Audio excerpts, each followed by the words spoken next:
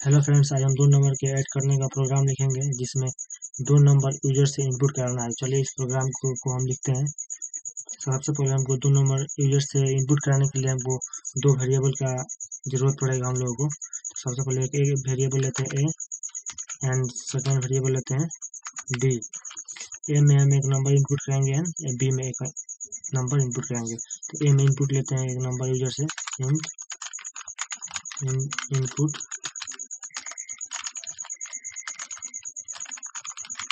enter a number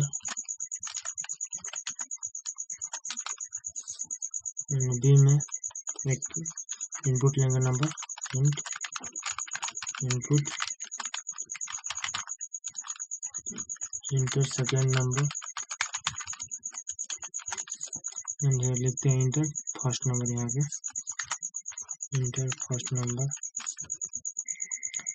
हम इन दोनों number को एक सी में ऐड कर देंगे। सी नाम के वेरिएबल के सी वेरिएबल बनाएँगे सी नाम का वेरिएबल जिसमें ए प्लस बी को ऐड कर देंगे। एंड सिंपली इसको प्रिंट करेंगे हम। Print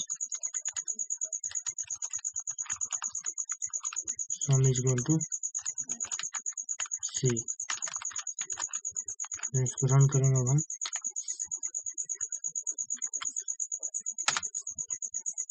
Enter number ten and enter second number twelve output आ गया हमारा सम ट्वेंटी टू इसी प्रकार इस कोड को दोबारा रन करते हैं, कुछ और नंबर लेकर तो फिर इसको रन रन करते हैं हम।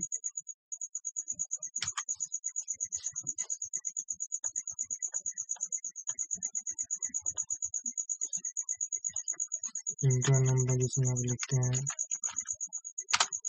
Enter second number and sum is इतना